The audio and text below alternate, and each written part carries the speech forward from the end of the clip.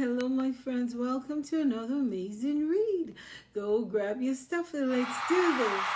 Today's read is called Pigs and it's written by Robert Munsch and the illustrations are by Michael Martchenko. Pigs. Megan's father asked her to feed the pigs on her way to school. He said, Megan, please feed the pigs, but don't open the gate. Pigs are smarter than you think. Don't open the gate. Right. I will not open the gate. Not me. No, sir. No, no, no, no, no, said Megan. So Megan went to the pig pen. She looked at the pigs. The pigs looked at Megan. Megan said, These are the dumbest looking animals I have ever seen. They stand there like lumps on a bump. They wouldn't do anything if I did open the gate. So Megan opened the gate just a little bit. The pigs stood there and looked at Megan. They didn't do anything. Megan said, These are the dumbest looking animals I have ever seen. They stand there like lumps on a bump. They wouldn't even go out the door if the house was on fire.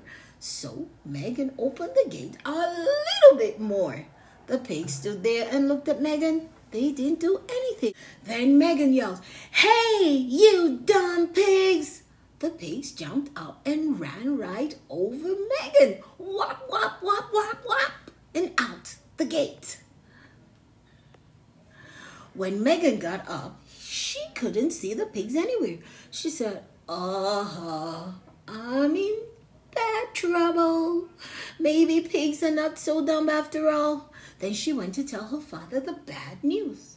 When she got to the house, Megan heard a noise coming from the kitchen. It went oink, oink, oink. That doesn't sound like my mother. That doesn't sound like my father. That sounds like pigs. She looked in the window. There was her father sitting at the breakfast table. A pig was drinking his coffee. A pig was eating his newspaper. And a pig was peeing on his shoe. Megan, you opened the gate. Get the pigs out of here, yelled her father. Megan opened the front door a little bit. The pig stood and looked at Megan. Finally, Megan opened the front door all the way and yelled, Hey, you dumb pigs! The pigs jumped up and ran right over Megan, whap, whap, whap, whap, whap, and out the door. Megan ran outside, chased all the pigs into the pig pen, and shut the gate. Then she looked at the pigs and said, You are still dumb, like lumps on a bump. Then she ran off to school. Just as she was about to open the front door, she heard a sound. Oink, oink, oink. She said, That doesn't sound like my teacher.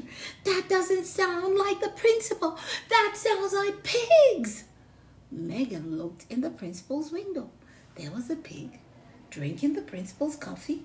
A pig was eating the principal's newspaper, and a pig was peeing on the principal's shoe.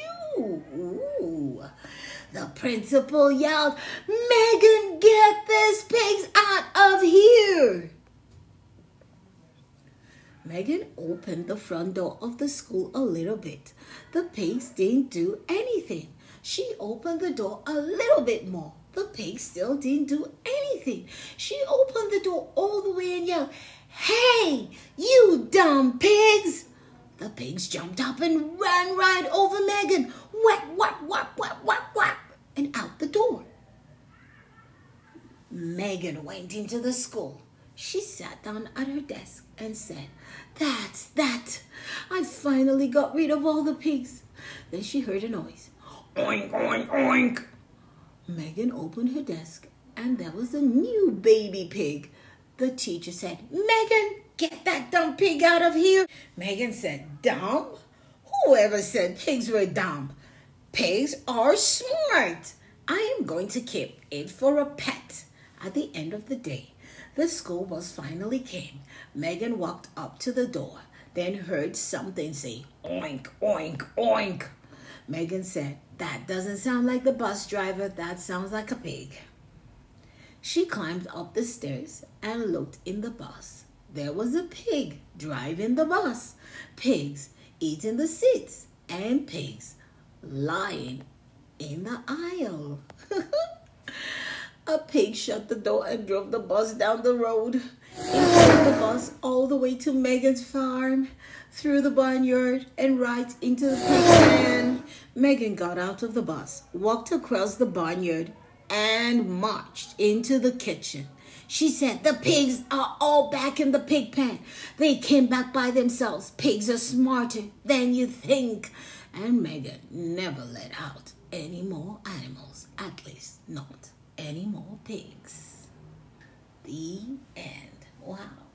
Such an awesome read, my friends.